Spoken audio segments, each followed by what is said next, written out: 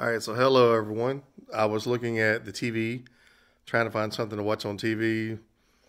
I have HBO Max, you know, just there's like five bazillion movies and TV shows on TV yet. It's kind of ironic because I can't find anything that I really want to watch. It's like all a bunch of junk and just a bunch of shit.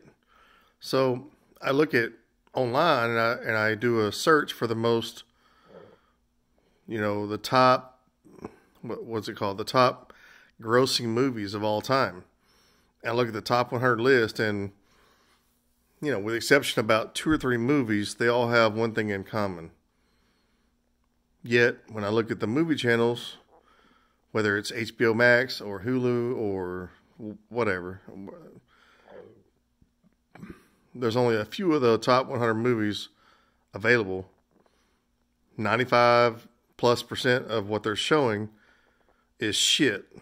Where the top 100 movies of all time, that um, this is what people went to the movies to see. This is not my. This is not my. you know. These aren't my movies.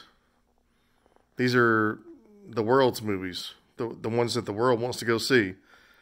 And there's in the top 100, there's only a couple of them available to watch on TV. So if you're wondering why people keep canceling TV services, maybe it's because you're not showing the movies that people actually want to see. If you're wondering why your movies get shitty ratings, well, it's because they have shitty people in them. So do your math, do the best you can, but realize there is certain kind of movies that people want to watch and certain kind of movies people don't want to watch. The stats are there. I'm not I'm not making this up. I'm just do a search, type in on your little browser, Google or whatever you want to use, top grossing movies of all time. With the exception of two or three of them, the top 100 all have something in common. It's up to you to figure that out.